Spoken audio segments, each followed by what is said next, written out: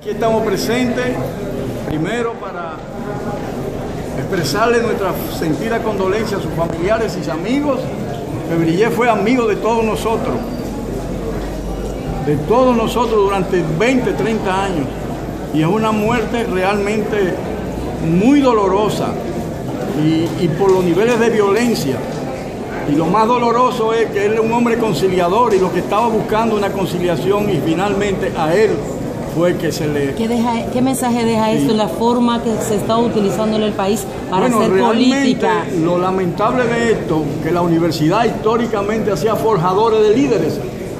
Y él es un líder.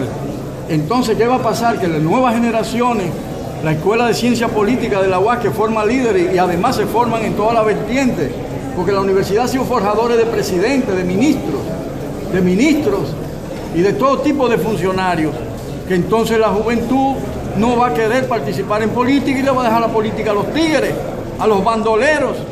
Amigos de nosotros le, le- dijeron, Febrillé, caramba, ten cuidado, porque va a una zona muy difícil, muy difícil.